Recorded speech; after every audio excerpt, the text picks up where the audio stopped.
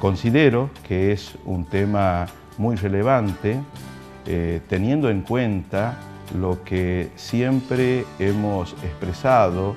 desde las carreras que tenemos dentro de la universidad eh, en relación a los alumnos que ingresan. Decimos que el salto de la escuela secundaria, del nivel medio, a la universidad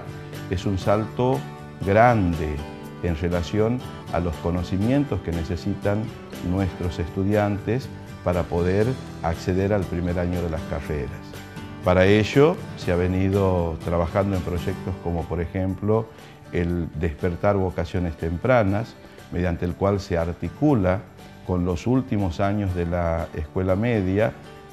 tanto con los docentes como con los propios estudiantes, eh,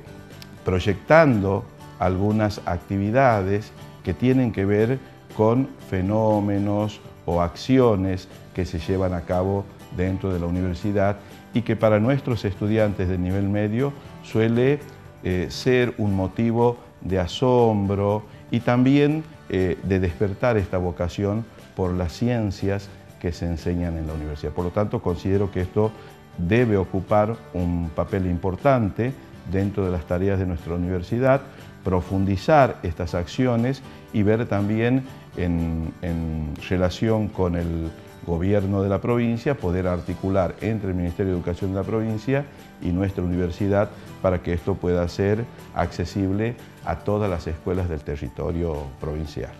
Efectivamente hay un fenómeno que nosotros lo podemos observar y registrar dentro de la universidad, cuál es el de la deserción. Eh, se ha establecido en, indicadores a nivel nacional, en todo lo que es el sistema universitario, que esta deserción de ingresantes este, a primer año de la universidad llega al 50% cuando culmina el primer año.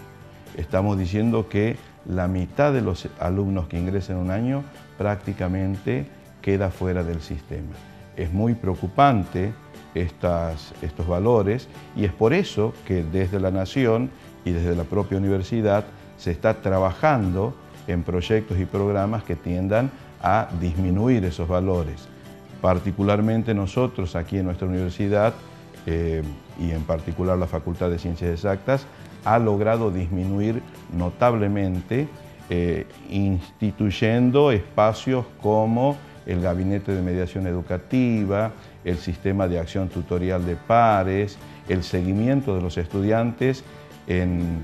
que están en cierto riesgo académico durante todo el primer año. O sea, hay un acompañamiento de la universidad a aquellos alumnos que tienen un cierto riesgo cognitivo o que tienen problemas de adaptación al sistema. Porque no siempre son los mismos los problemas. Hay veces que tienden a cuestiones adaptativas y no cognitivas y a veces son cognitivas y no adaptativas. Entonces ahí es donde nosotros tenemos que acompañar, apoyar y servir como puente para que los alumnos puedan eh, traspasar esa barrera del primer año que eh, a veces es traumática.